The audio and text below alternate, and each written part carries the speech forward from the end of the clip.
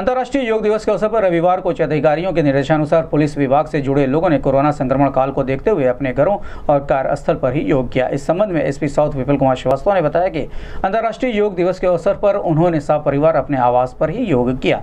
उन्होंने कहा कि योगा करने से बहुत फ़ायदे हैं, नियमित योग करने से तन और मन दोनों स्वस्थ और निरोगी रहते हैं। इस समय कोरोना जैसी वैश्विक महामारी में ये योगा बहुत ही कारगर साबित होगा।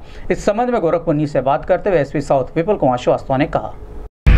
आज अंतर्राष्ट्रीय योग दिवस है और समस्त पुलिस परिवार द्वारा भी मनाया जा रहा है, सभी लोगों द्वारा मनाया जा रहा है। मेरा आज के दिन में यही कहना है कि सभी को कुछ ना कुछ समय निकाल के योग करना चाहिए। योग से तन, मन स्वस्थ रहता है और वर्तमान जो परिवेश है, कोविड 19 का जो प्रकोप चारों तरफ़ महामारी फैली हुई है, इससे हमारा इम्यून सिस्टम सही होगा और शरीर स्वस्थ रहेगा तो हम उससे बीमारी से बहुत ही जल्दी उबर पाएँगे और इस महामारी को जल्दी ख़त्म हो जाएगी। सर आज आपके द्वारा आपके परिवार के साथ भी योगा किया गया है?